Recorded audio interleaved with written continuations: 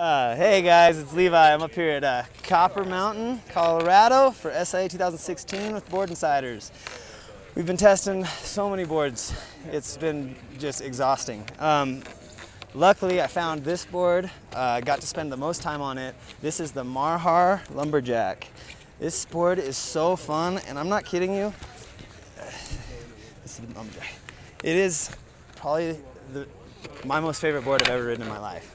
I mean, and that's gotta take that with a grain of salt because I didn't get to ride it that much. But the little bit of time I had on this, just outrageously fun. Um, there's some interesting tech going into this thing. It's got uh, the base, 3D base, so the highest point on this base is right in the middle.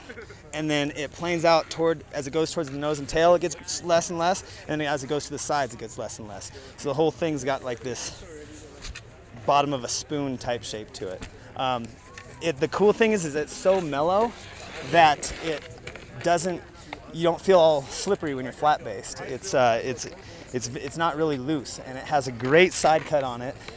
Super fast edge to edge. It's got a traction bump. If you look down the side at front of it, you probably can see that. There's a traction bump at your inserts that uh, just gives you a little extra edge hold. Um, Euro turns on this thing, super fun. Uh, trees, this thing ripped the trees so fast, ripping through the trees and all those little bank snake turns and like, just so fun. Like it got to the point where I had to stop because I was scaring myself a little bit. It was just, uh, it was just awesome. It also is a flat camber. It's flat camber to rocker outside the inserts.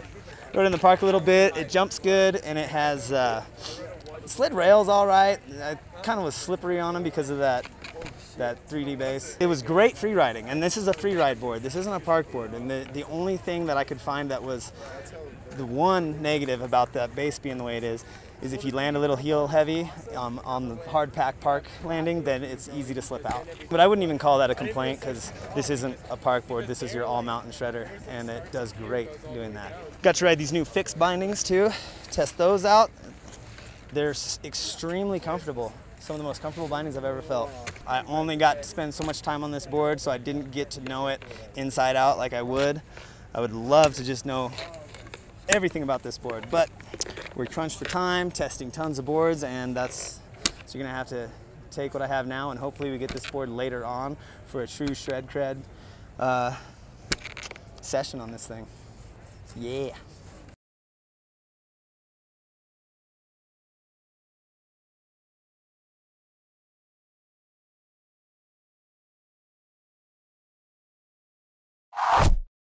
Subscribe, subscribe, and subscribe.